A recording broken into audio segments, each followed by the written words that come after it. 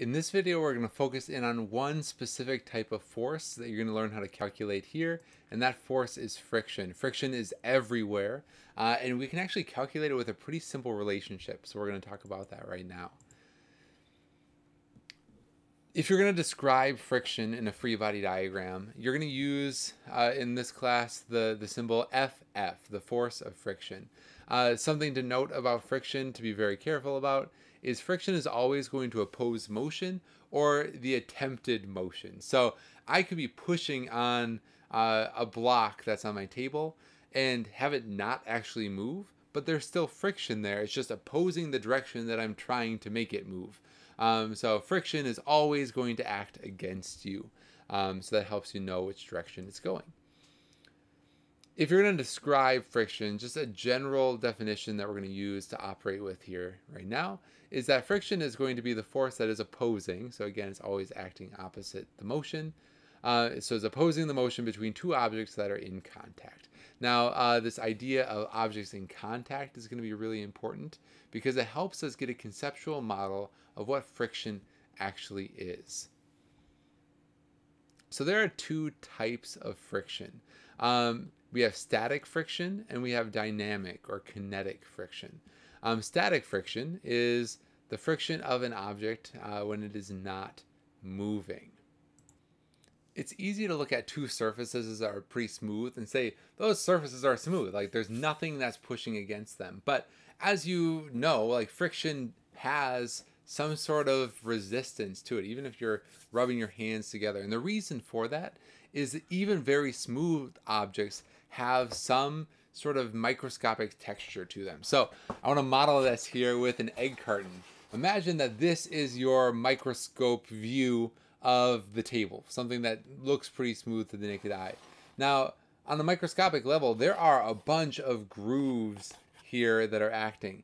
If you have another surface um, that also has these microscopic features to them, and it settles in on that table, those grooves kind of find a natural place to rest. Now, if this is an object that's just sitting there, it's not moving, It isn't going to experience static friction that you have to overcome in order to get these two to start sliding apart from each other because they've had a chance to settle in, kind of find their find their groove, if you will. So if we're going to describe this idea of static friction, between two objects that are not moving, it's helpful for us to look and think about this on a microscopic level. It is friction where these objects have had a chance to kind of interlock. Now, once you overcome that static friction, you have dynamic friction. It's in objects that are sliding up, um, across each other. These surfaces don't have time, uh, the ability to really settle into those grooves anymore. Um, so our static friction, our kinetic friction, is friction that is in motion. This is always going to be less than the static friction. Static friction is always greater than the dynamic because it's harder to overcome those locked in positions before it starts to slide. Uh, it is useful to see this in a simulation. All right, here I have a simulation of someone pulling an object across the table. Uh, and as with anything that you're trying to pull, you need to pull with a certain amount of force before it starts to move. So if I start the simulation and I plot the force, I'm pulling harder and harder and harder until finally it starts moving. And notice what happened once it started moving in this graph. We had to pull harder and harder and harder to get it to move. But once it started moving, this force dropped down dramatically. This is representing the static friction, and this is representing the, the kinetic friction, that dynamic friction. So again, you have to pull harder and harder and harder, but once it starts moving, uh, that friction drops down suddenly.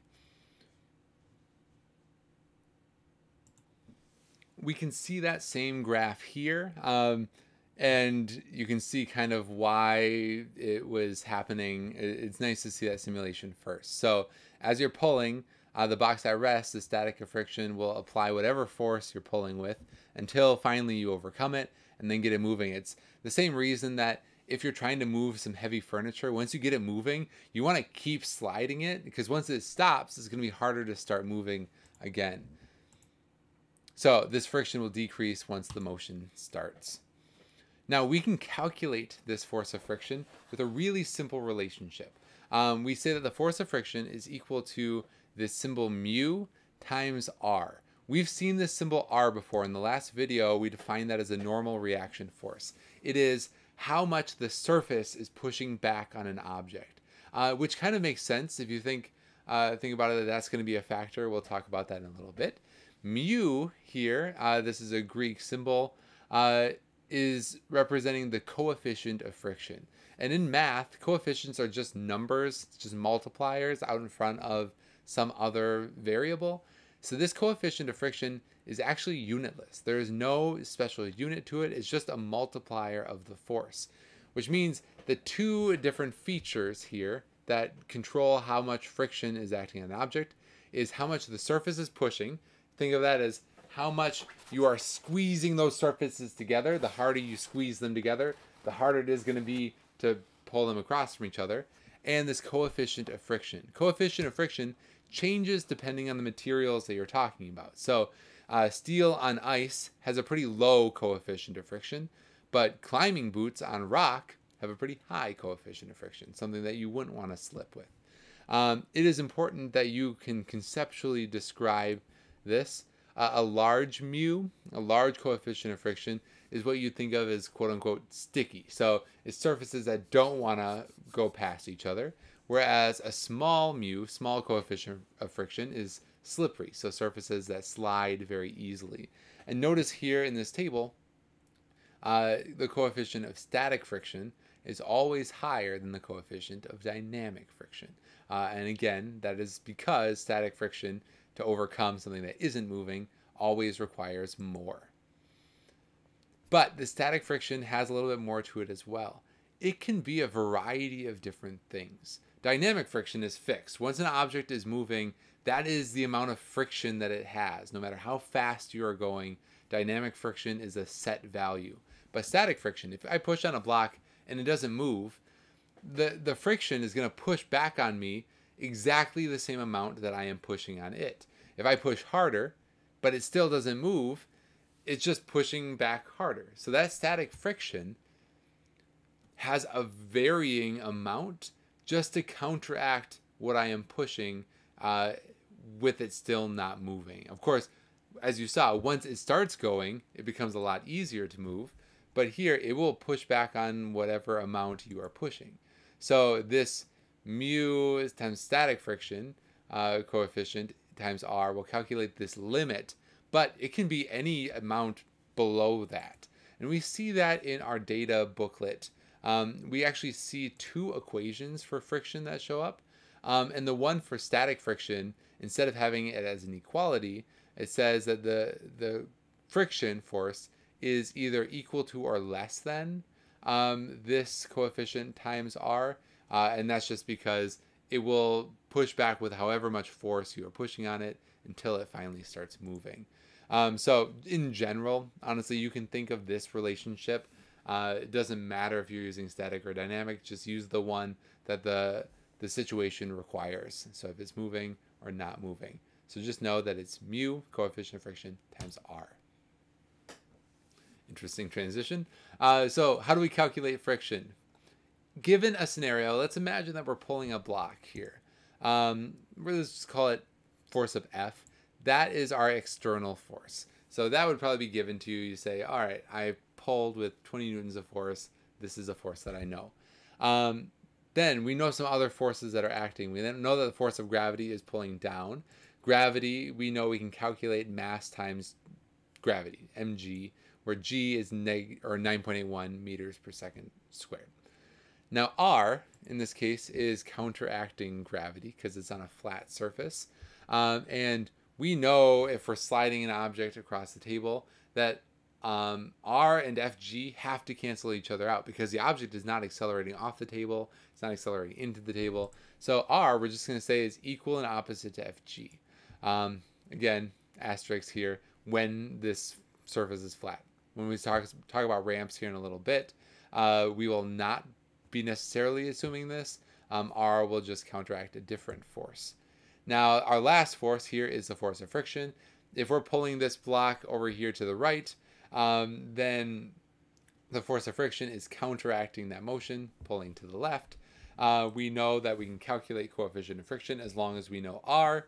Um, so coefficient of friction, uh, or F, F friction is just mu times R.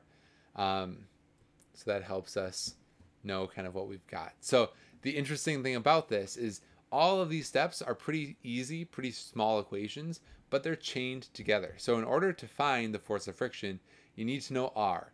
And in, in order to know R, you need to know Fg. In order to know Fg, you need to know the mass. So all of these different things are dependent upon earlier small equations. So let's look at an example here. Let's say that we have Santa's sleigh that's loaded up with toys for all the good little girls and boys until it has a mass of 2,000 kilograms. What is the static friction force that must be overcome to make this happen? Um, if it has a mass of 2,000 kilograms, we know it has a weight. We can find that weight. Mass times gravity is 2,000 times 9.81, or 19,620 newtons. We know that the ground must be pushing back up on it. And since this uh, Santa Sleigh is going to just try to move uh, to the side, we know that R has to be counteracting the force of gravity. Uh, so R is just equal to that, which is, again, 19,620. If we know R, we can calculate what static friction um, would have to be to be overcome. Um, mu s is provided here. That's based on the surface of the sleigh uh, as it reacts with the the, the snow beneath it.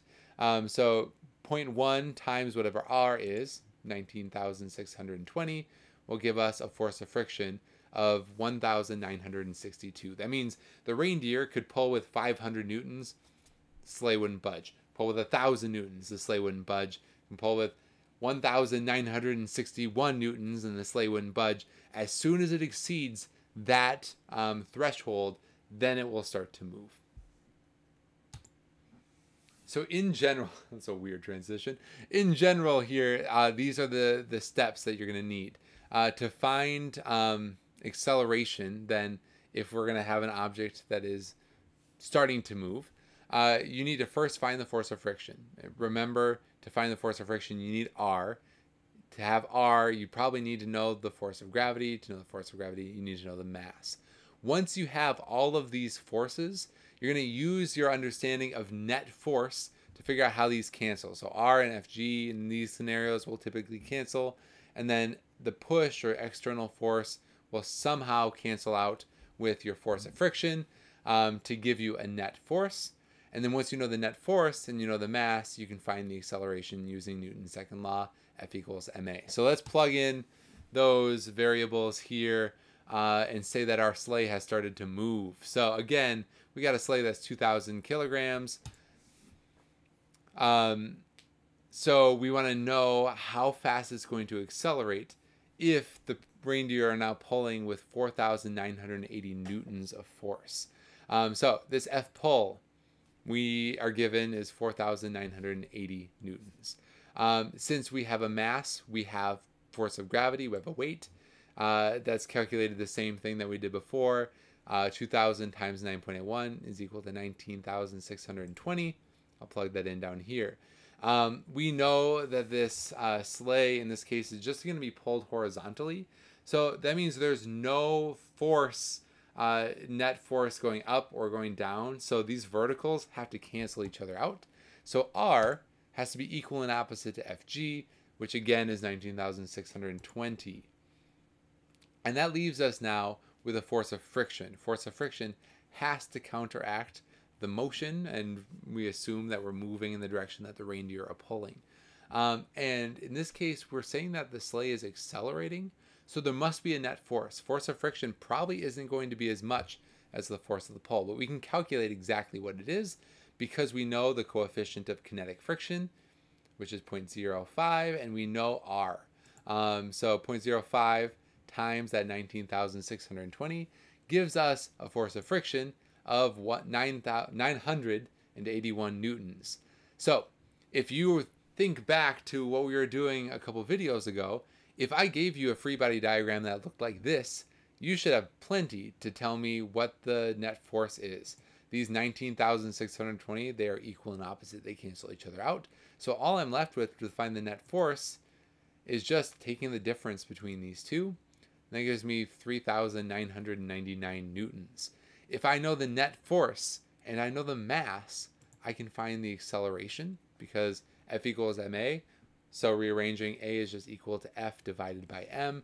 The net force is for almost 4,000 here divided by 2,000 kilograms gives me an acceleration of about 2 meters per second squared. Whew! So, like I said, there's lots of steps here, but all of the steps individually are super easy. You just need to know how to go from one step to the next. So, general takeaways you should be able to calculate the coefficient or the force of friction if you're given the reaction force and the coefficient. You should be able to quantitatively compare these surfaces, know like what do you have to do in order to increase the friction, and uh, you should be able to calculate the acceleration of an object based on some external force and a mass, and using all of those little equations to figure out a net force and ultimately an acceleration.